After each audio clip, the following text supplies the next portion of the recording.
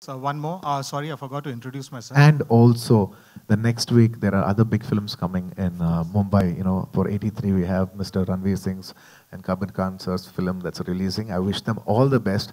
I hope you get people back into the theaters. And uh, now that I'm a Hindi media, I'd like to once again congratulate Surya Sooryavanshi for being a big, big, big success and getting people back into the theaters.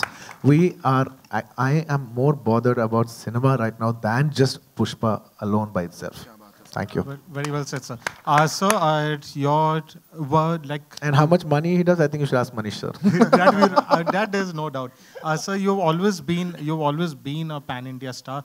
Uh, there is no doubt about that. By the way, really? Yes. I've never done a Hindi film also. But that's that's that's your aura. Without doing a Hindi film, you've already been a pan India star.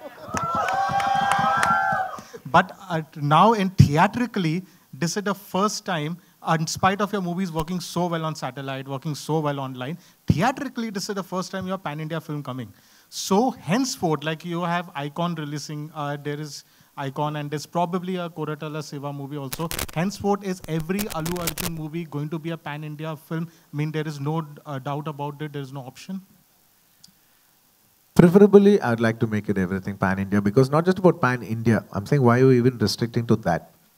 You know, maybe somebody else wants to watch it. Somebody, you know, people in other countries, maybe Sri Lanka, neighboring countries, Pakistan, other countries want to watch it. We don't know. You know, language is no barrier for uh, uh, cinema. So I think we should just go for. I would say more than pan India. I would say we should go for a multi-language release and see how far we can go as Indian cinema. Thank, you, sir.